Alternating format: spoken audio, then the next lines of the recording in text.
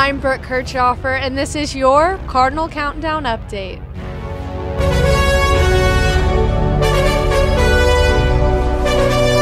This weekend in athletic news, the Lamar football team came home from San Antonio, Texas with a win against Incarnate Word 28 to 21.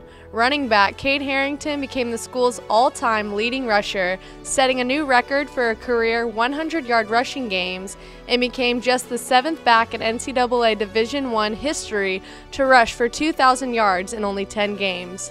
The Cardinals are now 4 and 4 in Southland play and will return home for their season finale against McNeese. Go out and support your cards by attending the game and following Lamar Athletics on Twitter. The men's and women's basketball team began their season this weekend. The men opened up at home against Austin College and they did not disappoint. The Big Red put up 101 points. The women traveled to Oklahoma State and unfortunately did not have a lot of luck. The Lady Cards fell to the Cowgirls 45 to 90. The Big Red is preparing for their upcoming game at home against Louisiana College on Thursday. Support the Lady Cards by coming out to their game or catching the live stream at www.bigredsn.com. The women's volleyball team battled through their season finale at home this weekend. The women took on 2015 Southland Conference champion Texas A&M Corpus Christi but fell 3 to 1.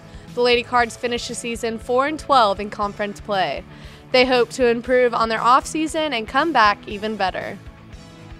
Show your Cardinal pride by attending the games and following Lamar Athletics on Facebook, Twitter, and Instagram. I'll be back next week with your Cardinal Countdown update.